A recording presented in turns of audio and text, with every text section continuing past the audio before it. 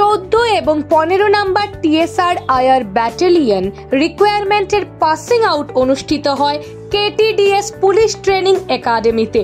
এই অনুষ্ঠানে উপস্থিত ছিলেন মুখ্যমন্ত্রী ডক্টর মানিক সাহা ও পুলিশের মহানির্দেশক অমিতাভ রঞ্জন, পুলিশ আধিকারিকরা সহ অন্যান্যরা।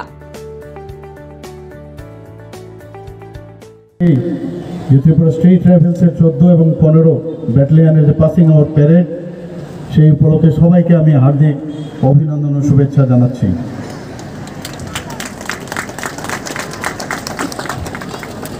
সত্যিকারের অর্থে আমরা কিন্তু ত্রিপুরা স্টেট রাইফেলস এটা আমাদের রাজ্যের জন্য একটা গর্ব।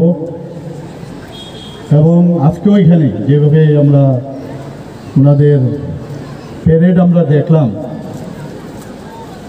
এবং কোনো অংশে ভারতবর্ষের যতগুলো পুলিশ বাহিনীর সাথে যুক্ত ইভেন প্যারামিলিটারির সাথে যুক্ত, তাদের থেকে কোনো অংশে আমি দেখলাম না, ওনারা কম এবং সত্যিই এটা প্রশংসার দাবি রাখে।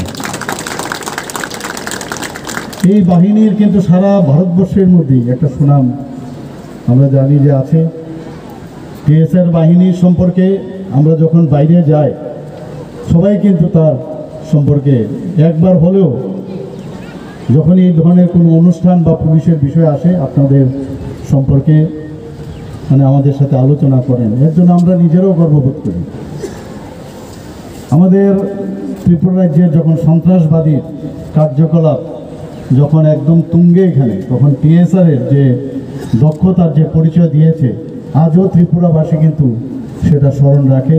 এবং আজকের দিনে এই কারণে আপনাদের যে পাসিং আউট আবার আপনারা সামনের দিকে যে road you will go road মানে হেড অফ দ্য রোডের জন্য আপনাদেরকে আবার অভিনন্দন আমি জানাচ্ছি।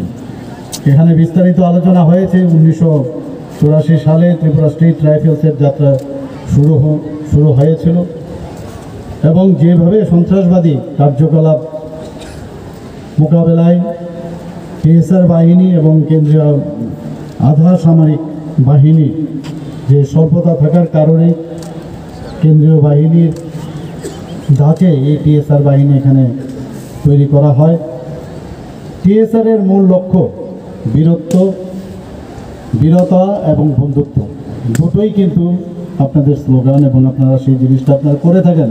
কারণ আমি দেখেছি আপনারা, আপনাদের যে কাজের জন্য আপনাদের নিয়োজিত করা হয়েছে, তার বাইরেও আপনারা অনেক ফিলোন্থ্রপিক ওয়ার্ক আপনারা করে থাকেন। এখানে মাননীয় ডিজি সাহেব উল্লেখ করেছেন। উনিশশো নব্বই সালের সেপ্টেম্বর মাসে টিএসআরের সেকেন্ড ব্যাটালিয়ন এখানে গড়ে তোলা হয়।